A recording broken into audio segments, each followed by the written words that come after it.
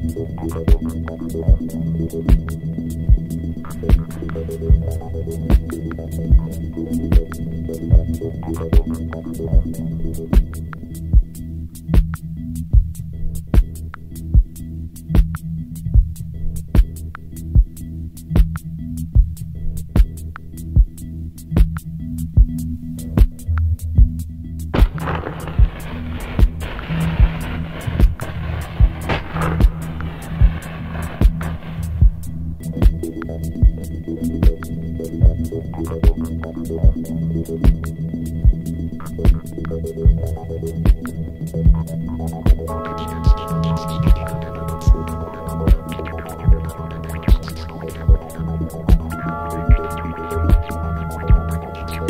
un paese visse molti anni fa una nera. Fu fucilata.